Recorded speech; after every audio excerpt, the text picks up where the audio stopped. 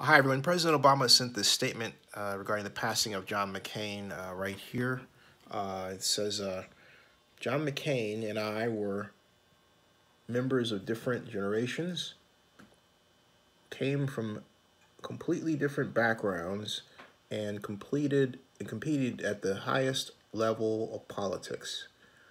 But we shared, for all of our differences, a fidelity to something higher the ideals for which generations of Americans and immigrants alike have fought, marched, and sacrificed.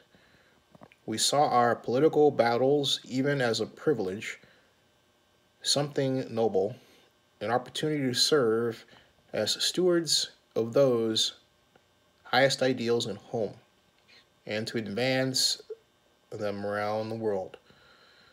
We saw this country as a place where anything is possible.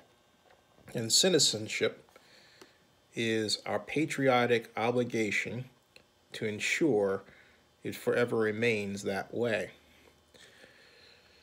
Few of us have ever been tested the way John once was or required to show the kind of courage that he did. But all of us can aspire to the courage to put the greater good above our own.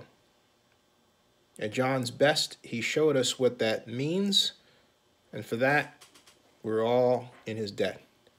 Michelle and I send our most heartfelt condolences to Cindy and their family. So that's from President Obama regarding the passing of Senator John McCain.